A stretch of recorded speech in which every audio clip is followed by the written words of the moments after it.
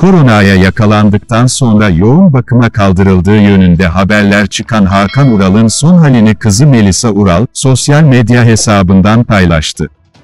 Ural'ın güldüğü ve keyfinin yerinde olduğu görenler hayranları rahat bir nefes aldı. TV8 ekranlarında yayınlanan Gel Konuşalım programının sunucusu Hakan Ural, geçtiğimiz günlerde hastalandı. Yaptığı açıklamada koronavirüsten bahsetmeyen Ural'ın hastalığının koronavirüs olduğu çok geçmeden ortaya çıktı.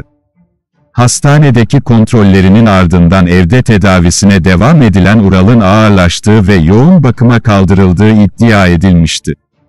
Partneri yalanladı söz konusu iddiaların ardından Hakan Ural'ın programdaki partneri Nur Tuğba, ünlü ismin yoğun bakıma kaldırıldığı iddialarını yalanladı ve sağlık durumunun iyi olduğunu dile getirdi, kızı da fotoğrafını paylaştı. Tüm bu gelişmelerin gündemde olduğu sırada Hakan Ural'la ilgili son noktayı kızı Melisa Ural koydu.